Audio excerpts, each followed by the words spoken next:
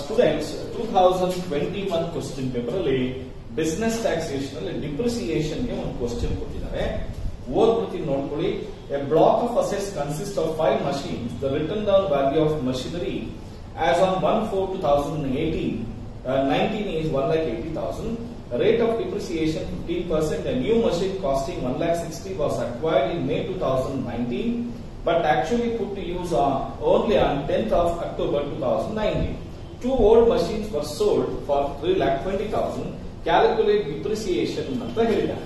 ಈಗ first written down value on one four two thousand nineteen ಅಲ್ಲಿ ನಮ್ಮ ಹತ್ರ one lakh eighty thousand rupees ಇತ್ತು. ಇದಕ್ಕೆ ಅಡಿಷನ್ ಮಾಡಿದ್ದಾರೆ ಅಂದ್ರೆ ಪರ್ಚೇಸ್ ಮಾಡಿದ್ದಾರೆ. ಪರ್ಚೇಸ್ ಮಾಡಿರೋದು ಆಕ್ಚುಲ್ ಆಗಿ ಮೇ ನಲ್ಲಿ ನೈನ್ಟೀನ್ ಅಲ್ಲಿ ಮಾಡಿದ್ದಾನೆ. ಬಟ್ ಅದನ್ನ ಯೂಸ್ ಮಾಡ್ತಾ ಇರೋದೇ ಇಂಪಾರ್ಟೆಂಟ್ ಯಾವ ಡೇಟ್ನಿಂದ ಯೂಸ್ ಮಾಡ್ತಾ ಇದ್ರೆ ನೋಡಿ ಮೇ ನಲ್ಲಿ ನೈನ್ಟೀನ್ ಅಲ್ಲಿ ಪರ್ಚೇಸ್ ಮಾಡಿದ್ದಾನೆ. ಅದನ್ನ ಯೂಸ್ ಮಾಡ್ತಾ ಇರೋದು October tenth two thousand nineteen ಇಂದ ಯೂಸ್ ಮಾಡ್ತಾ ಇದ್ದಾರೆ ನೋಡಿ October tenth two thousand nineteen ಅಂದ್ರೆ November December January February March ಇಲ್ಲಿ ten ten ten ten ten ಅಂತ ಹೇಳಿದ್ರೆ, ಎಷ್ಟಾಯ್ತು? ಒಂದು ಇಲ್ಲಿಂದ ಇಲ್ಲಿಗೆ ಒಂದ್ ತಿಂಗಳು. ನೋಡಿ, ಅಕ್ಟೋಬರ್ ನೈನ್ಟೀನ್ ಹಾಕ್ಬಿಡಿ. ಅಕ್ಟೋಬರ್ ಇಂದ ನವೆಂಬರ್ ಒಂದ್ ತಿಂಗಳು, ಎರಡು ತಿಂಗಳು, ಮೂರ್ ತಿಂಗಳು, ನಾಲ್ಕು ತಿಂಗಳು, ಐದು ತಿಂಗಳು. ಮೂವತ್ತೊಂದನೇ ತಾರೀಕು ಮಾರ್ಚ್. ಯಾವತ್ತಪ್ಪ ಎಂಡ್ ಆಗುತ್ತೆ ಅಂದ್ರೆ ಅಕ್ಟೋಬರ್ ಏಪ್ರಿಲ್. ಹೌದಾ? I mean to say that tenth of ಏಪ್ರಿಲ್ಗೆ ನಮಗೆ ಸಿಕ್ಸ್ ಮಂತ್ಸ್ ಆಗುತ್ತೆ. ಅಂದ್ರೆ ಒನ್ ಏಟಿ ಡೇಸ್ ಇದು ಜಾಸ್ತಿ ಆಗುತ್ತೆ. So there this is less than one eighty days use ಮಾಡಿರೋದ್ರಿಂದ ಒನ್ ಲ್ಯಾಕ್ ಸಿಕ್ಸ್ಟಿ ತೌಸಂಡ್ ರುಪೀಸ್ನ ಹೊಸ ಮಷಿನ್ ಪರ್ಚೇಸ್ ಮಾಡಿದೀವಿ ಅದನ್ನ ಯೂಸ್ ಮಾಡಿದೀವಿ ಆದ್ರೆ ಯೂಸ್ ಮಾಡಿರೋದು ನೂರ ಎಂಬತ್ತು ದಿನಕ್ಕಿಂತಲೂ ಕಡಿಮೆ ಆಗಿದೆ. ಅಲ್ಲಿಗೆ total three lakh forty thousand rupees ಇದೆ. ಇದರಲ್ಲಿ ಯಾವುದೋ ಒಂದು ಎರಡು ಓಲ್ಡ್ ಮಷಿನರಿನ ಸೇಲ್ ಮಾಡಿದೀವಂತೆ ಹಾಗಾದ್ರೆ ಸೇಲ್ ಆಫ್ ಓಲ್ಡ್ ಮಷೀನ್ಸ್ ಎಷ್ಟಕ್ಕೆ ಮಾರಿದೀವಿ ಗೊತ್ತಾ? ತ್ರೀ ಲ್ಯಾಕ್ ಟ್ವೆಂಟಿ ತೌಸಂಡ್ ರುಪೀಸ್ಗೆ ಮಾರ್ಬಿಟ್ಟಿದೀವಿ. ಹಾಗಾದ್ರೆ ತ್ರೀ ಲ್ಯಾಕ್ ಟ್ವೆಂಟಿ ತೌಸಂಡ್ ಮಾರಿದ್ರೆ ಇನ್ ಎಷ್ಟಿರುತ್ತೆ ಅಂದ್ರೆ ಟ್ವೆಂಟಿ ತೌಸಂಡ್ ಇದನ್ನ ನಾವು ಡಿಪ್ರಿಸಿಯಬಲ್ ವ್ಯಾಲ್ಯೂ ಅಂತ ಕರೀತೀವಿ. ಈ ಡಿಪ್ರಿಸಿಯಬಲ್ ವ್ಯಾಲ್ಯೂನಲ್ಲಿ ನಾವು ಏನ್ ಮಾಡಬೇಕು ಅಂದ್ರೆ ಫಸ್ಟ್ ಡಿಪ್ರಿಸಿಯೇಷನ್ ಕೊಡಬೇಕು. ಆ ಡಿಪ್ರಿಸಿಯೇಷನ್ ಅಲ್ಲಿ ಮೊದಲನೇದು ನಾರ್ಮಲ್ ಡಿಪ್ರಿಸಿಯೇಷನ್ ಕೊಡಬೇಕು. ನಾರ್ಮಲ್ ಡಿಪ್ರಿಸಿಯೇಷನ್ ಎಷ್ಟು ಬರುತ್ತೆ?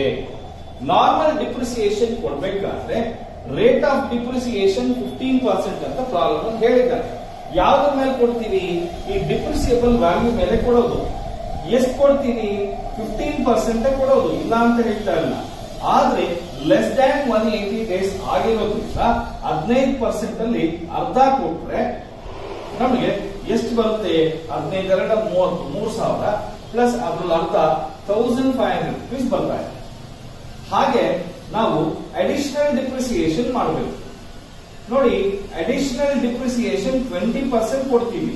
ಯಾರ ಮೇಲೆ? ಹೊಸ ಮೆಷಿನರಿ ಮೇಲೆ ಪರ್ಚೇಸ್ ಮಾಡುವ ಟ್ವೆಂಟಿ ಪರ್ಸೆಂಟ್ ಕೊಡ್ತೀವಿ. ಯಾವಾಗ ಟ್ವೆಂಟಿ ಪರ್ಸೆಂಟ್ ಕೊಡ್ತೀವಿ ಅಂದ್ರೆ more than one eighty days use ಮಾಡಿದ್ರೆ ಕೊಡ್ತೀವಿ. ಆದ್ರೆ ಇಲ್ಲಿ less than one eighty days ಆಗಿರೋದ್ರಿಂದ ಟ್ವೆಂಟಿ ಪರ್ಸೆಂಟ್ ಅಲ್ಲೇ ಅರ್ಧ, ಅಲ್ಲಿಗೆ ಹದಿನಾರು ಸಾವಿರ ರೂಪಾಯಿ ಆಗುತ್ತೆ. ಓಕೆನಾ ಅಲ್ಲಿಗೆ total seventeen thousand five hundred rupees depreciation ಹೋದ್ರೆ ಇನ್ನ two thousand five hundred rupees written down value ಅಂತ ಕರೀತೀವಿ. ಅಲ್ಲಿಗೆ written down value of the machine ಎಷ್ಟಿದೆ? Two thousand five hundred rupees ಬರುತ್ತೆ.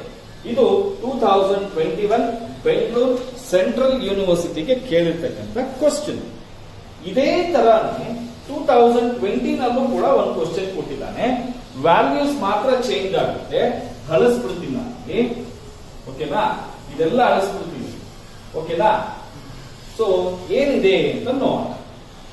ನೋಡಿ ಒಂದು ಮಷೀನ್ ಇದೆಯಂತೆ one four nineteen opening written down value block of X and Y assets eight lakh rupees ಇದೆಯಂತೆ ಓಕೆನಾ during the month April two thousand nineteen Z machine ಆರು ಲಕ್ಷ ರೂಪಾಯಿ purchase ಮಾಡಿದಂತೆ. ಆದ್ರೆ ಅದನ್ನ ಯಾವಾಗಿಂದ ಯೂಸ್ ಮಾಡಿದ್ದಾನಂತೆ ಅಂದ್ರೆ ಫಿಫ್ಟೀನ್ತ್ ಆಫ್ ಏಪ್ರಿಲ್ ನೈನ್ಟೀನ್ ಇಂದ.